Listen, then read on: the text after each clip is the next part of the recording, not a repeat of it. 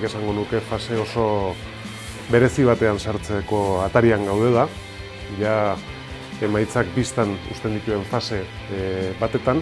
se va a ir abriendo la calle de Izarra, la semana que viene en un primer tramo para acceder al colegio y al ascensor que habéis visto cuando veníamos de, de camino, en ese primer tramo.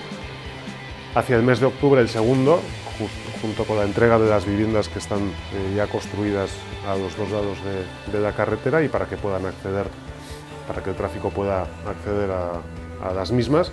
Y en una tercera fase hacia finales de año, pero ya eso tiene que ser en coordinación con otro ámbito que es distinto, que es el de Marianistas, en el que también se está trabajando, llegará y desembocará en Aldapeta. De tal manera que tendremos un movimiento, por decirlo de alguna manera, circular, de subida por la calle de Izarra, de bajada desde ese punto por Aldapeta. Nik uste bueno, ja ikusgarria da, emaitza, auzoa ja e, nolabait hiriari irikitzen zaio, eta hori da ikusiko duguna hurrengo